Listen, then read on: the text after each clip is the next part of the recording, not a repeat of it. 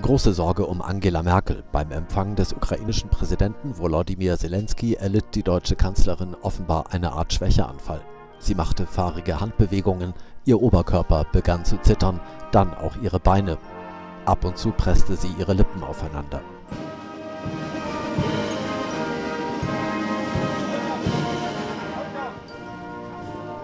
Nach dem Ausklingen der Nationalhymne fing sich die 64-Jährige wieder. Den Rest der Zeremonie absolvierte Merkel bei Temperaturen um 30 Grad scheinbar mühelos, ohne sichtbare körperliche Probleme.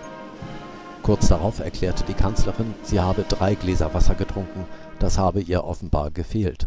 Laut der Nachrichtenagentur dpa hatte Merkel früher bereits bei ähnlichen Gelegenheiten ein solches Zittern gezeigt.